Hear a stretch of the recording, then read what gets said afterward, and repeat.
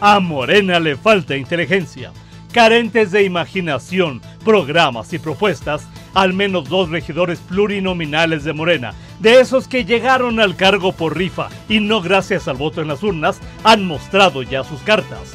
Seguirán el camino de atacar el servicio de agua potable del municipio de Aguascalientes, con la asesoría de quien vive de manera constante, con la mente y la razón obnubiladas por la cocaína, dan palos de ciego y pretenden politizar la remunicipalización del servicio, esa que ellos exigían desaforadamente, rasgándose las vestiduras desde la oposición y de la cual no atinaron a decir ni pío cuando el actual cabildo determinó seguir esa ruta.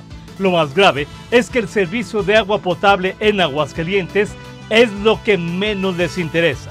Gilberto Gutiérrez y Marta Márquez pretenden dejar a los hidrocálidos sin el vital líquido, crear las condiciones para sabotear la distribución, que el agua no llegue a las colonias y entonces desgañitarse diciendo que el modelo no sirve y que ellos tenían la razón. Que no se nos olvide que en 2022 un sujeto de iniciales Arturo Ávila contrató personas de otros estados para sabotear los pozos. Así se las gastan en Morena con tal de salirse con las suyas.